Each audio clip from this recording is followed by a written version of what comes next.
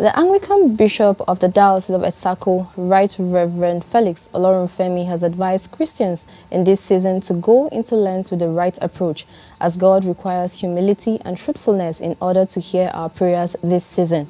Bishop Olorunfemi gave this advice in an interview with, with Caroline Achumbe in Abuja, saying it is a period of another spiritual reawakening. As we go into Lent, we should go into it with the right spirit with the right approach. And one of the attitudes that God expects from us is humility. If my people are called by my name shall humble themselves.